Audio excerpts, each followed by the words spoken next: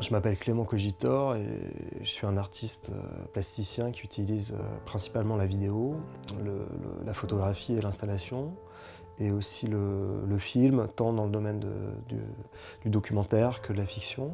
Et je me présente en général comme un metteur en scène d'images.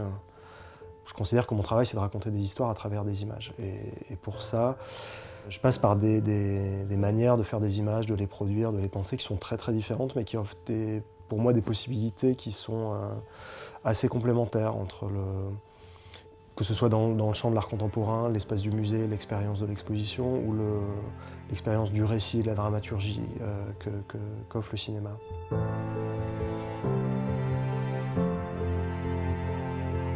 Il y a deux choses qui, moi, m'intéressent énormément dans le travail Bill Viola. C'est le, le rapport qu'il a à la spiritualité, mais au sens très très large, c'est-à-dire que, c'est déconnecté de, toute forme de dogme. Euh, la question du passage, c'est quelque chose qui est très très fort pour lui. La question de, l'au-delà, du visible, de l'invisible, c'est quelque chose qui est très présent dans son travail et qui, moi, m'a aussi nourri, m'a aussi inspiré.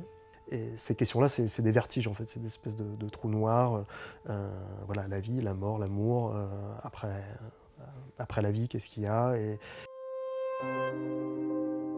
Il y a une idée que j'aime beaucoup, qui est, euh, c'est Hans-Peter Feldman, un artiste allemand, qui disait qu'un artiste, c'est un, exilé de l'enfance. Et chez Bill Viola, c'est extrêmement affirmé, c'est manifeste en fait.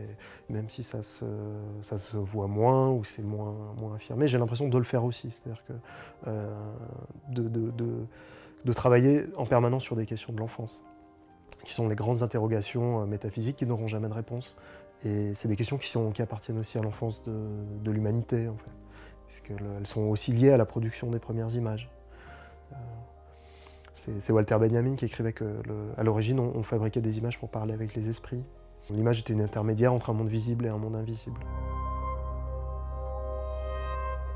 Les choses, elles sont intéressantes quand elles ont, elles ont plusieurs couches de lecture, quand elles ont plusieurs facettes, quand elles résistent un petit peu à l'analyse. Dès qu'elles sont doubles, elles sont, elles sont plus riches. Et je pense que les expériences fortes, en fait, humaines ou les émotions fortes, elles sont aussi doubles. Quoi. Et le travail de Bill Viola aussi, il a ça, c'est-à-dire qu'en fait, il nous parle de la mort, et il nous parle de quelque chose d'à la fois sublime et terrible. Et ça, c'est prodigieux.